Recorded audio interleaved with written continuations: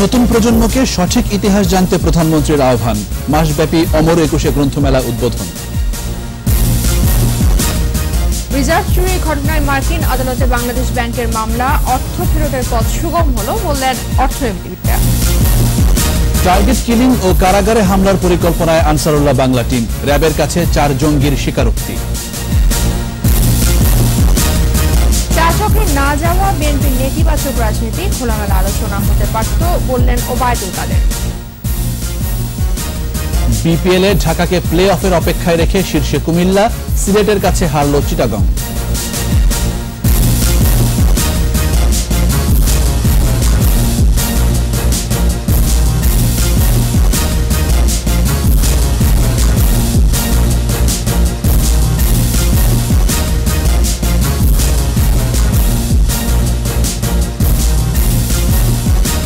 শুনছিলেন first security Islami bank limited সংবাদ শিরোনাম। আমন্ত্রণ জানাচ্ছি রাত এগারোটার একুশে সংবাদে। আপনাদের সাথে আছি আমি জাবের হোসেন। এবং আমি তাজনুবা এছাড়া সংবাদে আরও থাকছে। বাঙালির জয় কবিতার জয় স্লোগানে জাতীয় কবিতা উৎসব শুরু। উন্নয়ন অগ্রযাত্রায় এগিয়ে যাওয়ার অঙ্গীকার।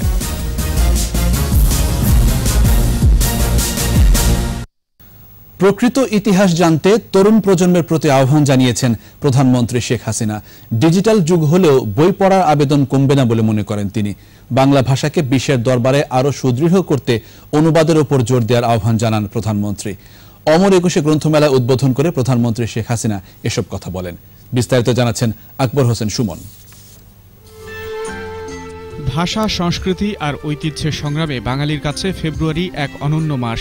মায়ের ভাষায় কথা বলার অধিকার আদায়ের দাবি বিশ্ববিদ্যালয় থেকে রাজপথ জনপদে ছড়িয়ে সাহসী সূর্য সন্তানদের রক্তে পাওয়া ভাষা বাংলা। ফেব্রুয়ারির প্রথম দিনে বাংলা একাডেমির বর্ধমান হাউসের আঙিনায় ভাষা শহীদদের স্মরণে এ আয়োজন। অমর একুশে গ্রন্থমেলার উদ্বোধনী। মাসব্যাপী অমর একুশে গ্রন্থমেলা দু হাজার উনিশের শুভ উদ্বোধন ঘোষণা করছি। প্রধানমন্ত্রী শেখ হাসিনা উদ্বোধন করেন একুশে গ্রন্থমেলা। অনুষ্ঠানে বাংলা একাডেমি সাহিত্য পুরস্কার তুলে দেন গুণী লেখকদের হাতে। মোড়ক উন্মোচন করেন জাতির জনক বঙ্গবন্ধু শেখ মুজিবুর রহমানকে নিয়ে গোয়েন্দা প্রতিবেদন নির্ভর সংকলনের। প্রধান অতিথির বক্তব্যে প্রধানমন্ত্রী শেখ হাসিনা ভাষা আন্দোলনের ইতিহাস বিকৃতি বিভ্রান্তির সমালোচনা করে বঙ্গবন্ধুর অবদান তুলে ধরেন। Secret doc- documents of on father of the nation এই তথ্য স্পষ্টভাবে পাওয়া যায় যে তিনি উনিশশো আটচল্লিশ সালে জানুয়ারি ছাত্রলীগ নামে একটি সংগঠনও গড়ে তোলেন এবং তমদ্দুল মজুরি এবং ছাত্রলীগ এবং অন্যান্য ছাত্র সংগঠন সকলকে নিয়ে একটা ভাষা সংগ্রাম পরিষদ রাষ্ট্রভাষা মানে সংগ্রাম পরিষদ গঠন করে আন্দোলন শুরু করেন এবং এগারোই মার্চ থেকে সে আন্দোলনের কর্মসূচি শুরু হয়। অসমাপ্ত আত্মজীবনীর উদ্ধৃতি দিয়ে তরুণ প্রজন্মকে ভাষা আন্দোলন ও মুক্তিযুদ্ধের প্রকৃত ইতিহাস জানার আহ্বান জানান প্রধানমন্ত্রী। আমাদের বায়ান্ন ভাষা আন্দোলন উনসত্তরের গণপ্রতাপ সত্তরের নির্বাচন নিরঙ্কুশ বিজয় লাভ এসবের মধ্যে বাঙালির স্বাধীনতা আকাঙ্ক্ষা বাস্তব রূপ লাভ করে। আমাদের নতুন প্রজন্মকে সব ইতিহাস জানানো একান্তভাবে প্রয়োজন। যে কত ত্যাগ প্রতিকা রক্তের বিনিময়ে আমরা আমাদের স্বাধীনতা পেয়েছি মাতৃভাষায় কথা বলার অধিকার পেয়েছি। এবং বাঙালির ইতিহাস হচ্ছে ত্যাগের ইতিহাস।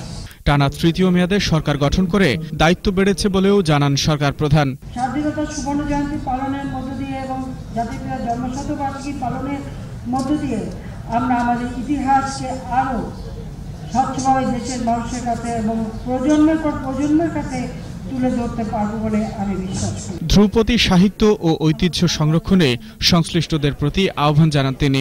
ডিজিটাল মানে লাইব্রেরি হওয়া এটাও একান্তভাবে প্রয়োজন। পরে মেলা প্রাঙ্গণ ঘুরে দেখেন প্রধানমন্ত্রী শেখ হাসিনা। আকবর হোসেন সুমন একুশে টেলিভিশন ঢাকা।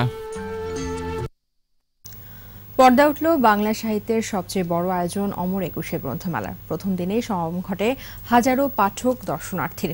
এবারও নতুন নতুন বইয়ের পাশাপাশি মেলায় এসেছে জনপ্রিয় বইয়ের নতুন সংস্করণ। বইমেলায় সার্বিক নিরাপত্তা নিশ্চিতে সতর্ক অবস্থানে রয়েছে আইন শৃঙ্খলা রক্ষাকারী বাহিনী। আরও জানাচ্ছেন রিয়াজ সুমন। শুক্রবার বিকেলে বাংলা একাডেমি প্রাঙ্গণে বইমেলা উদ্বোধন শেষে প্রধানমন্ত্রী শেখ হাসিনা মেলা প্রাঙ্গণ ত্যাগ করার পরপরই বিকেল সাড়ে পাঁচটার দিকে সর্বসাধারণের জন্য উন্মুক্ত করে দেয়া হয় মেলায় প্রবেশের সবগুলো গেট। প্রথম দিনে ছুটে আসেন হাজারো বইপ্রেমী মানুষ। মেলার প্রস্তুতি শতভাগ সম্পূর্ণ না হলেও স্টলগুলোতে ঘুরে ঘুরে বই দেখেছেন পাঠক দর্শনার্থীরা। বইমেলার শুরু থেকেই আমি এখানে আসার চেষ্টা করি। নতুন নতুন লেখকদের বইগুলো দেখি দেখার চেষ্টা করি বা বোঝার চেষ্টা করি। হুমায়ুন আহমেদ স্যারের নতুন বই নেই কিন্তু পুরাতন বইগুলোকে দেখি। এখানে আসার পর আমার কাছে নিজের কাছে মনে হয় একটা আপন একটা জায়গায় চলে আসছে। বইয়ের টানে প্রাণের এই মেলায় আসেন শিক্ষামন্ত্রী ডাক্তার দীপু মনিও। বলেন মেধাবী একটি জাতি ও দেশ গঠনে বইয়ের বিকল্প নেই। বই পড়ার আনন্দটা যদি একবার শিখে ফেলা যায় তাহলে কিন্তু নিজের জন্য একটা অসম্ভব রকম আনন্দের জগৎ তৈরি করে ফেলা যায়। লেখকরা বলেন বাঙালি সংস্কৃতির অনন্য নিদর্শন বইমেলা। তাই ঐতিহ্য ধরে রাখতে সবাইকে বেশি বেশি বই পড়ার আহ্বান জানান তারা। কোনো কোনো পাঠক কোনো বই পড়ে সেটা নিয়ে কথা বলছে। এই যে পাঠকের সঙ্গে সরাসরি একটা যোগাযোগ এই বইমেলা ছাড়া তো সেটা আর সম্ভব হয় না। ভাষা শহীদদের সম্মান জানিয়ে বান্নটি বই নিয়ে প্রথমবারের মতো মেলায় এসেছে পেন্সিল প্রকাশনী। প্রথম দিনের পাঠক সমাগমে খুশি প্রকাশকরা। পেন্সিল আসলে নতুনদের নতুন লেখকদের হচ্ছে গিয়ে যে প্রমোট করার জন্য একটা প্ল্যাটফর্ম হিসেবে ক্রিয়েট হয়েছে। একই সাথে পাঠকদেরও পাঠাভ্যাস পুনরুদ্ধার করার জন্য আসলে বলা যাবে। এইবারে বইমেলায় শুরুর দিন প্রচুর জনসমাগম। এদিকে মেলার সার্বিক নিরাপত্তা রক্ষায় তৎপর রয়েছে আইন শৃঙ্খলা রক্ষাকারী বাহিনী। বিগত বছরগুলোতে যে রকম মেলাতে সবাই স্বতঃস্ফূর্তভাবে আসছে এবারও সবাই স্বতঃস্ফূর্তভাবে আসবে। রিয়াজ সুমন একুশে টেলিভিশন ঢাকা। বাংলাদেশ ব্যাংকের রিজার্ভের অর্থ চুরির ঘটনায় ফিলিপাইনের reserve commercial banking corporation RCBC এবং ব্যাংকটির কর্মকর্তা সহ জড়িতদের বিরুদ্ধে মামলা করেছে বাংলাদেশ ব্যাংক। যুক্তরাষ্ট্রের নিউ ইয়র্কের ম্যানহাটন সাউদার্ন ডিস্ট্রিক্ট কোর্টে এ মামলা করা হয়। আজহারুল ইসলামের রিপোর্ট। দু হাজার ষোলো সালে হ্যাকিংয়ের মাধ্যমে সুইফটে ভুয়া বার্তা পাঠিয়ে যুক্তরাষ্ট্রের federal reserve bank of New York থেকে বাংলাদেশ রিজার্ভের হাতিয়ে দেওয়া হয় দশ কোটি দশ লাখ ডলার। এর মধ্যে শ্রীলঙ্কা থেকে ফেরত পাওয়া গেছে তিন কোটি ছত্রিশ লাখ ডলার। এবার বাদবাকি ছ কোটি চৌষট্টি লাখ ডলার ফেরত পেতে এবং জড়িতদের সাজা নিশ্চিতে শুরু হলো আইনি প্রক্রিয়া। এরই ধারাবাহিকতায় ফিলিপাইনের ম্যানিলা ভিত্তিক reserve commercial banking corporation RCBC সহ আরও কয়েকজনকে আসামি করে যুক্তরাষ্ট্রের আদালতে মামলা করেছে বাংলাদেশ ব্যাংক। মামলায় আসামির তালিকায় আছেন আরসিবিসির কয়েকজন কর্মকর্তা ছাড়াও অর্থ স্থানান্তরকারী কোম্পানি ফিল্ডরেম ও তার কর্মকর্তা ক্যাসিনো মালিক ও সুবিধাভোগী বিভিন্ন ব্যক্তি ও প্রতিষ্ঠান। মামলা পরিচালনা করতে নিয়োগ দেওয়া হয়েছে যুক্তরাষ্ট্রের দুটি ল ফার্মকে। এছাড়া বাংলাদেশের পাঁচ সদস্যের আইনজীবীর একটি টিমও মামলা পরিচালনায় কাজ করছেন। এদিকে এ মামলায় পূর্ণ সহায়তা দেবে federal reserve bank of new York, Fed. এজন্য বাংলাদেশ ব্যাংকের সাথে ফেডের একটি চুক্তিও হয়েছে। আজহারুল ইসলাম, একুশে টেলিভিশন। এদিকে রিজার্ভের অর্থ চুরির ঘটনায় নিউ ইয়র্কের আদালতে মামলা হওয়ায় টাকা ফেরত পাওয়ার পথ অনেকটা সুগম হল বলে মনে করেন অর্থনীতিবিদরা। এছাড়া ভবিষ্যতে এ ধরনের জালিয়াতি রোধে আইনগত ভিত তৈরি হলো বলে মনে করছেন বিশ্লেষকরা। আমি জানাচ্ছেন সোয়ারিয়া রিমন দুই হাজার ষোলো সালের চৌঠা ফেব্রুয়ারি যুক্তরাষ্ট্রের federal reserve bank of new ইয়র্কে থাকা বাংলাদেশের রিজার্ভের দশ কোটি দশ লাখ ডলার চুরি হয়। চুরির অর্থ ফিরিয়ে আনা এবং দোষীদের বিচারে শুক্রবার মধ্যরাতের পর নিউ ইয়র্কের ম্যানহাটন সাউদার্ন ডিস্ট্রিক্ট কোর্টে মামলা দায়ের করে বাংলাদেশ ব্যাংক। ঘটনার তিন বছর পর হলেও মামলা হওয়ায় আইনগতভাবে অর্থ ফেরত পাবার সুযোগ সৃষ্টি হবে বলে মত বিশ্লেষকদের। মামলাটা করার মাধ্যমে আমরা বাংলাদেশ সরকার কিছু লোক যারা চিহ্নিত হয়েছে বিদেশে বা কিছু প্রতিষ্ঠান যাদের সম্পর্কে আমাদের কিছু অভিযোগ আছে, তাদের বিরুদ্ধে যদি আগামীতে কোনো ব্যবস্থা নেওয়া যায়, সেই জন্য একটা লিগ্যাল প্রভিশন করে দেওয়া হলো এটার মাধ্যমে। কেন্দ্রীয় ব্যাংক ফাইন্যান্সিয়াল ক্রাইম সম্পর্কে জ্ঞান আছে এবং এ ব্যাপারে অভিজ্ঞতা আছে এই ধরনের।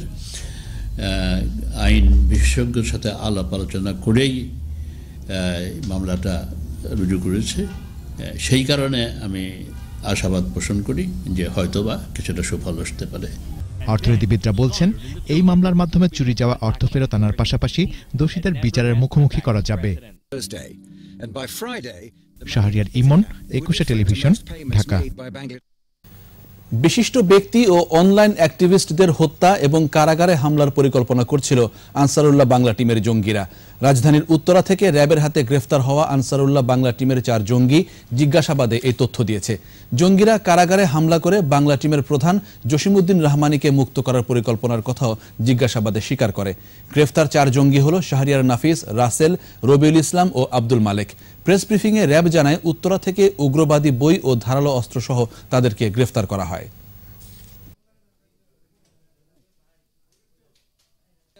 তাদের মতাদর্শের বিরুদ্ধে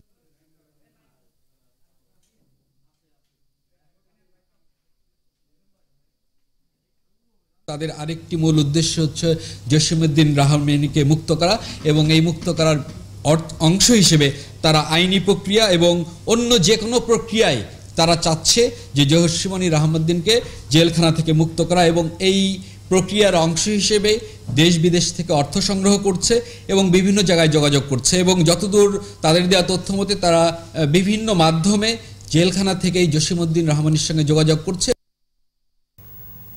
প্রধানমন্ত্রী চা চক্রের আমন্ত্রণে সাড়া না দেয়া বিএনপির নেতিবাচক রাজনীতির বহিঃপ্রকাশ বলে মন্তব্য করছেন আওয়ামী লীগের সাধারণ সম্পাদক ওবায়দুল কাদের।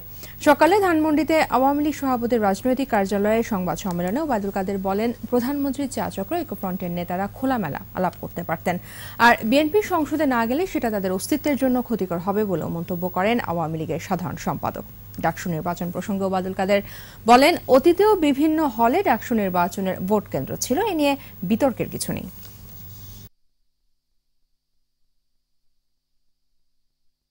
একতরফা একগুমে মানসিকতা পরিহার করে তারা যদি সংসদে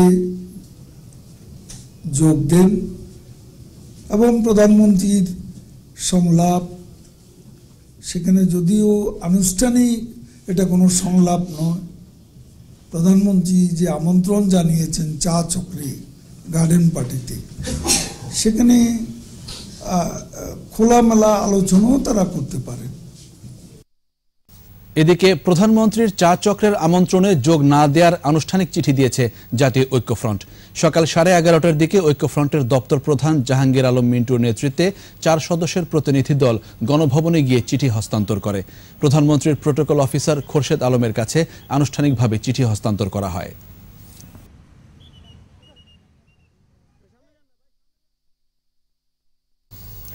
এবার আমাদের বিশেষ আয়োজন অমর একুশে।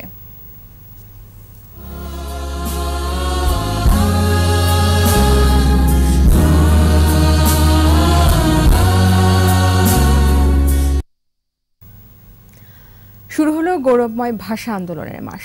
উনিশশো সাতচল্লিশ সালে পাকিস্তান রাষ্ট্রের জন্মের পর থেকেই বাংলাকে রাষ্ট্রভাষা করার দাবিতে যে আন্দোলন শুরু হয়েছিল তা চূড়ান্ত রূপ পায় বায়ান্নর এই মাসে।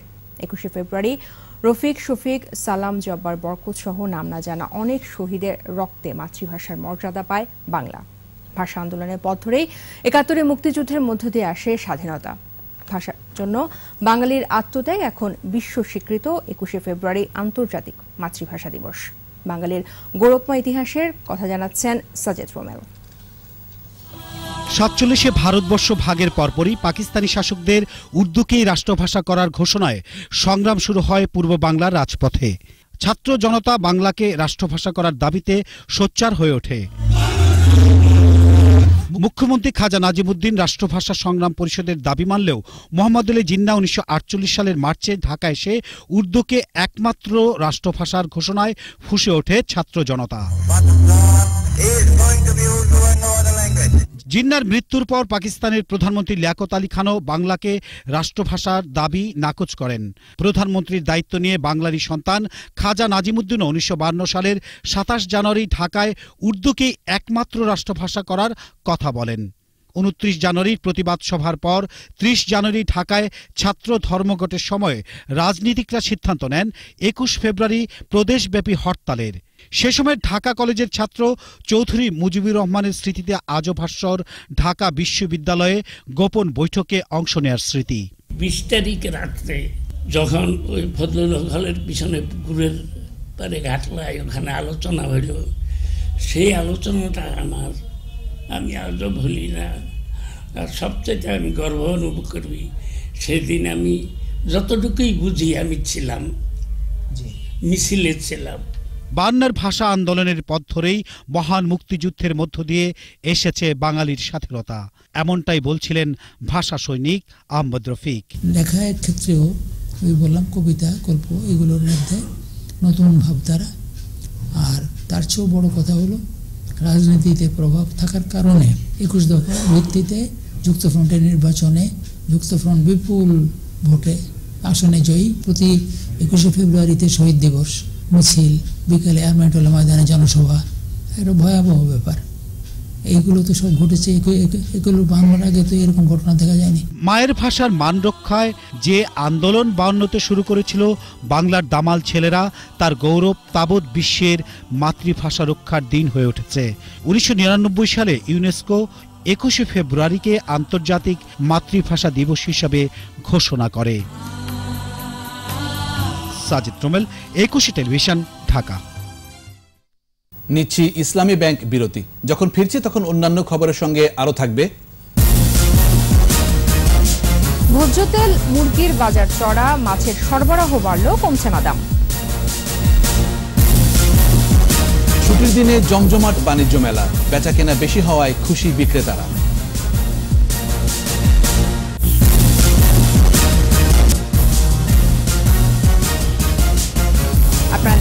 এগারোটার একুশে সংবাদ। বিএনপিকে সংসদে গিয়ে কথা বলার আহ্বান জানিয়েছেন আওয়ামী লীগ নেতৃত্বাধীন চোদ্দ দলের মুখপাত্র মোহাম্মদ নাসিম। রাজধানীর কাকরাইলে ডিপ্লোমা ইঞ্জিনিয়ার্স ইনস্টিটিউশনে এক আলোচনা সভায় বিএনপিকে উদ্দেশ্য করে মোহাম্মদ নাসিম বলেন, সংসদে নিজেদের ভূমিকা রাখুন। সংসদে না গিয়ে রাজনৈতিক উত্তাপ সৃষ্টি করে লাভ হবে না বলেও মন্তব্য করেন তিনি। পঁচাত্তর পরবর্তী সময়ে আওয়ামী লীগের নেতাকর্মীরা বিভিন্নভাবে নির্যাতনের শিকার হয়েছে, উল্লেখ করে নাসিম বলেন, বিএনপিকে সেখান থেকে শিক্ষা নিতে হবে। দৃষ্টি দিচ্ছি বাজারের দিকে। রাজধানীর বাজারে বেড়েছে ভোজ্য তেলের দাম। সব ধরনের মুরগির দামও বাড়তি। তবে সবজির বাজার স্থিতিশীল। আর চিনি, পেঁয়াজ, রসুন, আদা সহ বেশিরভাগ পণ্য বিক্রি হচ্ছে আগের দরে। সঞ্জিদা রশিদের রিপোর্ট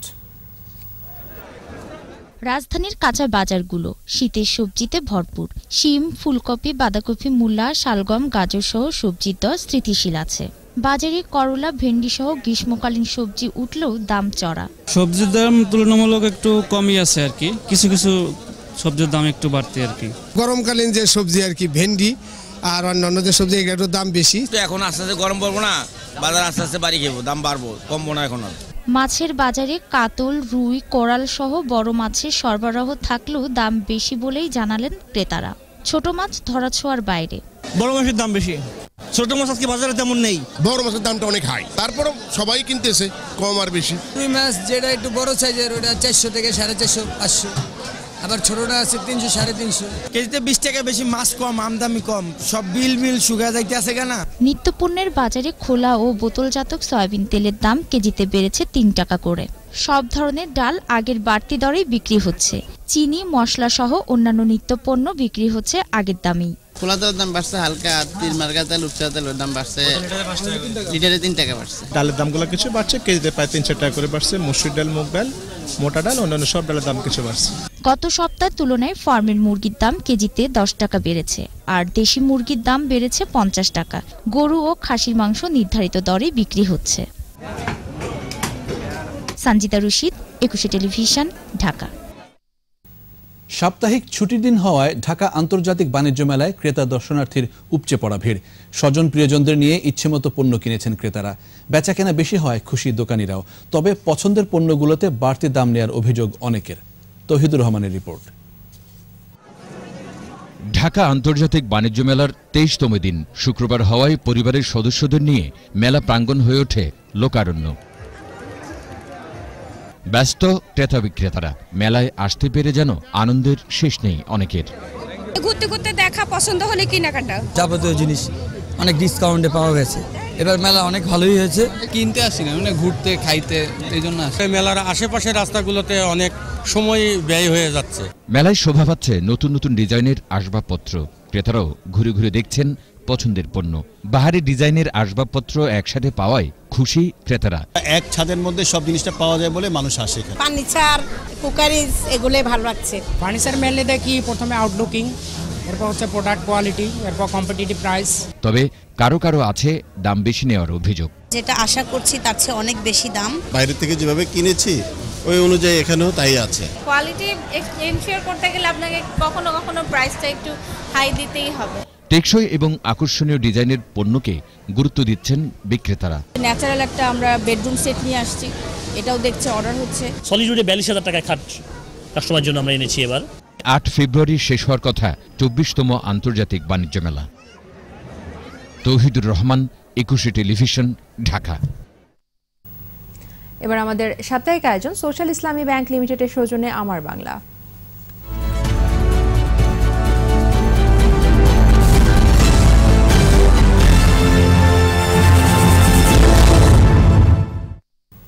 এলাকার সবাই তাকে জানে বৃক্ষপ্রেমী গোপাল হিসেবে।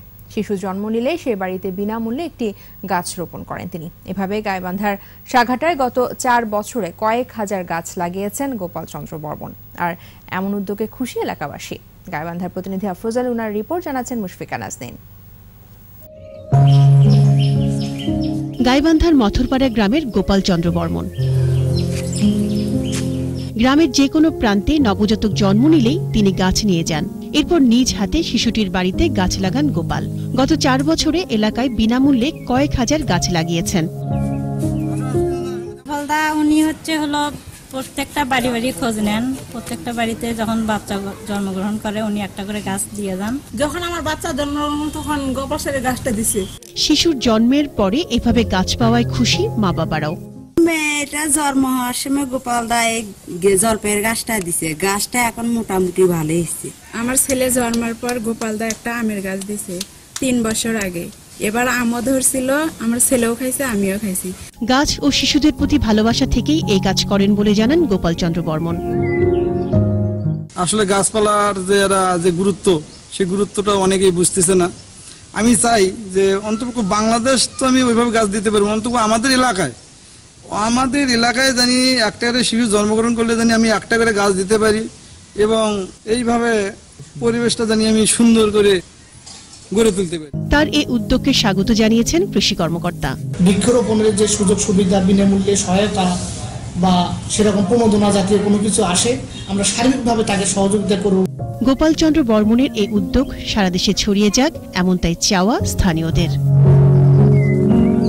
মুশফিকা নাজনীন একুশে টেলিভিশন। আবারও ইসলামী ব্যাংক বিরতি। যখন ফিরছি তখন অন্যান্য খবরের সঙ্গে আরও থাকবে। যশোর ও গাজীপুর থেকে প্রশ্ন ফাঁস চক্রে চারজন আটক ল্যাপটপ মোবাইল ফোন জব্দ। তীব্র শীত তুষারপাতে যুক্তরাষ্ট্রের নিহতের সংখ্যা বেড়ে একুশ। যোগাযোগ ব্যবস্থা লণ্ডভণ্ড জরুরি অবস্থা জারি।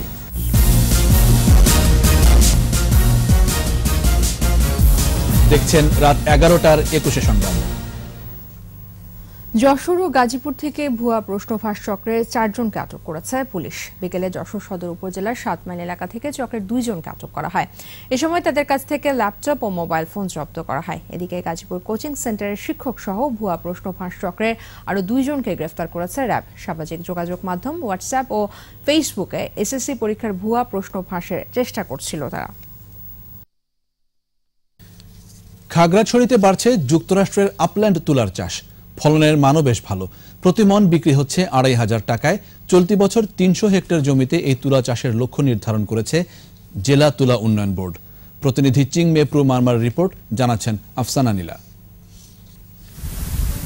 দীঘিনালার সুধীর মেম্বার পাড়া সুমঙ্গল চাকমা। তুলা উন্নয়ন বোর্ডের প্রশিক্ষণ নিয়ে শুরু করেন যুক্তরাষ্ট্রের আপল্যান্ড জাতের কার্পাস তুলার চাষ। সঠিক পরিচর্যা আর পরিশ্রমে পেয়েছেন সফলতা। চলতি বছর আবাদ করেছেন প্রায় চল্লিশ শতক জমিতে। ফলনও হয়েছে প্রত্যাশা মতো। ধান চাষের চেয়ে তুলা চাষে অনেক লাভজনক। তাই আমি আগামীতে তুলা চাষ করব সরকারি সহযোগিতায়। আমরা এবছর দুইখানি জমি তুলা চাষ করছি। এটি খুব লাভজনক। সুমঙ্গল চাকমার সফলতা দেখে এগিয়ে এসেছেন অনেকেই। চাইছেন কৃষি বিভাগের সহযোগিতা। আমরা প্রশিক্ষণের মাধ্যমে যেতটুকু জানতে পারছি এটা খুবই একটা লাভজনক ফসল এবং প্র্যাকটিক্যালভাবে আমরা এটার প্রমাণ পাইতেছি। এই পদ্ধতি হিসাবে মানে পাওয়াতে আমরা খুব ভালো মনে করছি। তুলার ফলন অত্যন্ত ভালো এবং দেখতেও সুন্দর এবং লাভ লাভজনক একটি ফসল। খাগড়াছড়িতে আপল্যান্ড জাতের এই তুলার চাষ বাড়ানোর সিদ্ধান্ত নিয়েছে কর্তৃপক্ষ। আমরা তাদের মোটিভেশন ওয়ার্ক করতেছি প্রশিক্ষণের ব্যবস্থা করতেছি।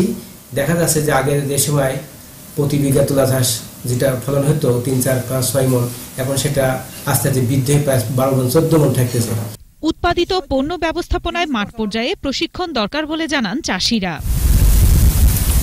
আফসানা নীলা একুশে টেলিভিশন। রাজধানীতে অনুষ্ঠিত হলো ইন্টারন্যাশনাল উইভার্স ফেস্টিভ্যাল বনানীর রাজক মাঠে ফেস্টিভ্যালে বিভিন্ন দেশের কূটনীতিকরা উপস্থিত ছিলেন।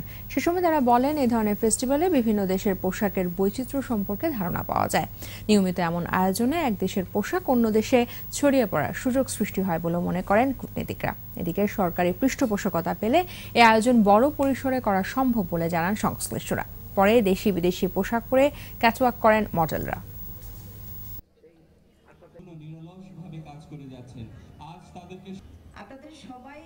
পার্বত্য চট্টগ্রামের বোম কমিউনিটি খুবই রিচ উনি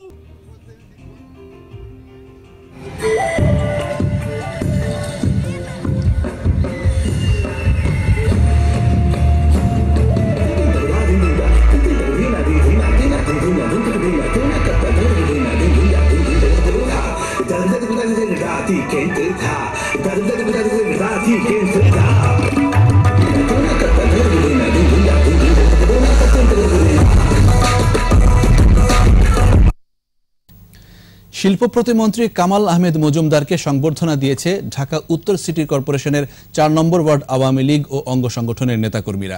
বিকেলে রাজধানীর মিরপুর তেরো নম্বরে হাজি আলী হোসেন উচ্চ বিদ্যালয় মাঠে এই সংবর্ধনার আয়োজন করা হয়।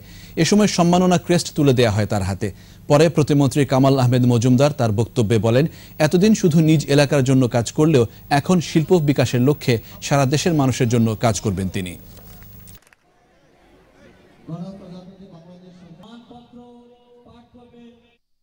জানাব বিআরবি কেবলস ব্যবসা বাণিজ্যের খবর।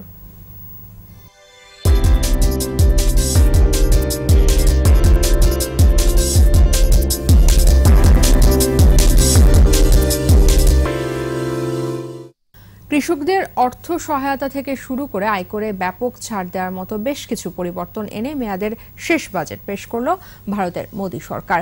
লোকসভায় দুই হাজার উনিশ বিশ অর্থ বছরে অন্তর্বর্তীকালীন বাজেট পেশ করেন কেন্দ্রীয় অর্থমন্ত্রী পীযূষ গোয়াল। বাজেট প্রস্তাবে আয়করের ঊর্ধ্বসীমা আড়াই লাখ থেকে পাঁচ লাখ রুপি করা হয়েছে। দুই হেক্টরের কম জমির মালিকদের সাহায্য করতে বছরে ছয় হাজার রুপি করে দেবে সরকার। এই প্রকল্পে বারো কোটি কৃষক পরিবার উপকৃত হতে পারে।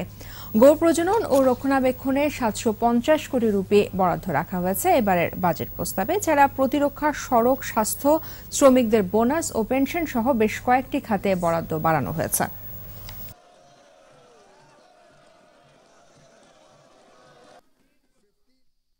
শেষ করব জাতীয় কবিতা উৎসবের খবর জানিয়ে। বাঙালির জয়, কবিতার জয় স্লোগানে ঢাকা বিশ্ববিদ্যালয়ের কেন্দ্রীয় লাইব্রেরি চত্বরে শুরু হয়েছে দুই দিনের জাতীয় কবিতা উৎসব। জাতীয় কবিতা পরিষদের তেত্রিশতম এই উৎসব পরিণত হয়েছে কবি সম্মেলনে। উদ্বোধনী আয়োজনে বলা হয়, উন্নয়নের পথে দেশ এগিয়ে চলেছে বলেই সুদৃঢ় হয়েছে বাঙালি সংস্কৃতি।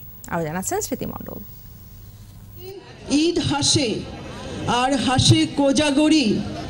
রাম রহিমের জুটি কি আজ আমরা ভাঙতে পারি? মানববন্দনা স্বপ্ন সংগ্রাম ভালোবাসা। অবসরের মতন হাঁটু মুড়ে বসতে হয় শরীরের কাছে। উনিশশো সাতাশি সালে সামরিক স্বৈরশাসনের সময় শৃঙ্খল মুক্তির ডাকে জাতীয় কবিতা উৎসবের শুরু। অন্ধকার দিনগুলোতে কবিতা আলো হাতে পথ দেখিয়েছে বারবার। কবি প্রকাশ করেন অব্যক্ত আবেগ, ভালোবাসা, সংগ্রাম, বঞ্চনার ইতিহাস। কবিতা তো, একটা অদ্ভুত ব্যাপার? ভেতর থেকে আসে এবং স্বপ্ন নিয়ে আসে। তরুণরা, তাদের চুল কালো থাকে তো, তারা স্বপ্ন নিয়ে থাকে। এবং কবিতা আমাদের চুল যতই পাকুক আমরা ওই স্বপ্নের ভরসায় থাকি। ঢাকা বিশ্ববিদ্যালয়ের কেন্দ্রীয় লাইব্রেরি চত্বরে কবি সম্মিলন। ভারত তুরস্ক যুক্তরাজ্য চীন Sri Lanka Iraq Malaysia Spain Uruguay Congo ও নেপালের কবিরা সামিল হয়েছেন উৎসবে। It's amazing. Uh, it's so wonderful to be here, to see so many people, great poets reading, and to be there. অতিথি কবি আসছে এবং পারফর্ম করছে সবাই। আমরা সবাই আহ, একই ল্যাঙ্গুয়েজে স্পিক করছি আপনার পোয়েমস উৎসবে ভিড় করেন কবিতা পাঠকরাও। খুশি হয়েছে যে এত বছর পরে আসছে। আমার ইচ্ছে ছিল যে আরও প্রত্যেক বছর আসব। কণ্ঠ দিয়ে সুর দিয়ে গান গাওয়াই নয় এটাকে আত্মস্থ করতে হলে ভেতরে একটা কাব্যবোধ থাকতে হয়। কবিতা লিখতে না পারলেও শুনতে ভালো লাগে এবং এই উৎসবটি সার্বজনীন। যেটি আসলেও আমাদের গর্ব করার মতো আর কি। সুযোগ্য নেতৃত্বে উন্নয়নের পথে এগিয়ে যাচ্ছে বাঙালি। এবারের জাতীয় কবিতা উৎসব তাই বাঙালির অবধারিত জয়ের কথা তুলে ধরেছে। স্মৃতিমণ্ডল একুশে টেলিভিশন ঢাকা। এর সাথে শেষ করছি রাত এগারোটার একুশে সংবাদ। যাবার আগে first security Islami bank limited সংবাদ। সুনামগুলো জানাব আরও একবার। নতুন প্রজন্মকে সঠিক ইতিহাস জানতে প্রধানমন্ত্রীর আহ্বান। মাসব্যাপী অমর একুশে গ্রন্থমেলা উদ্বোধন। রিজার্ভ চুরির ঘটনায় মার্কিন আদালতে বাংলাদেশ ব্যাংকের মামলা অর্থ ফেরতের পর সুগম হলো বলছেন অর্থনীতিবিদরা। টার্গেট কিলিং ও কারাগারে হামলার পরিকল্পনায় আনসারুল্লাহ বাংলা টিম। র্যাবের কাছে চার জঙ্গির স্বীকারোক্তি। চক্রে না যাওয়া, বিএনপির নেতিবাচক রাজনীতি, খোলামেলা আলোচনা হতে পারত, বললেন ওবায়দুল কাদের। বিপিএল এ ঢাকাকে প্লে অফের অপেক্ষায় রেখে শীর্ষে কুমিল্লা, সিলেটের কাছে হারল চিটাগং।